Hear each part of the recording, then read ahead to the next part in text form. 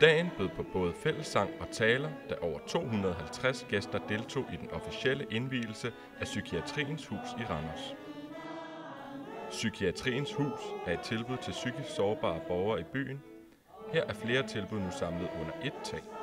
I sin tale understregede lederen Lene Brun Christensen, at det har været en mangeårig drøm, der nu er gået i opfyldelse. Og selvom den officielle indvielse var i dag, så har brugerne siden februar kunne gøre brug af stedet.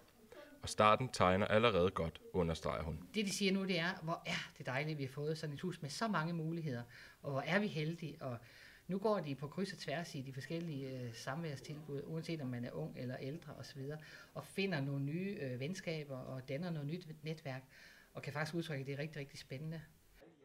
Brugerne har kunne benytte sig af tilbuddet i tre måneders tid. Og spørger man Christian Feldhaus Hansen, så ser han frem til at benytte sig af stedets faciliteter og møde nye mennesker.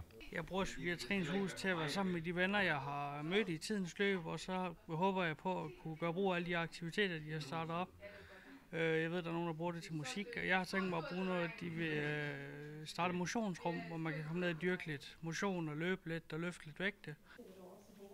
Psykiatriens Hus er kulminationen på flere års hårdt arbejde blandt lokalpolitikerne, hvor et enigt byråd har besluttet at bruge 12 millioner kroner på projektet.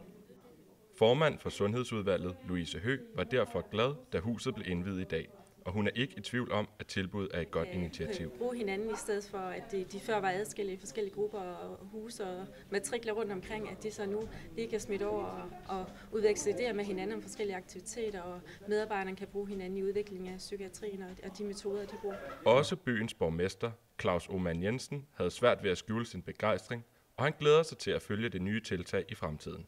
Det er fantastisk det med at samle, og øh, jeg har også været i de, de gamle steder, og øh, det her nye, vi har skabt her, det tror jeg kommer til at skabe nogle, øh, nogle nye muligheder. Så øh, jeg er meget optimistisk omkring det her, men nu skal vi jo i gang med at bruge det. Øh, så lad os drage konklusionerne og erfaringerne lidt derhen af. Da de officielle begivenheder lakkede mod enden, blev der også plads til lidt spontant fællessang blandt stedets brugere.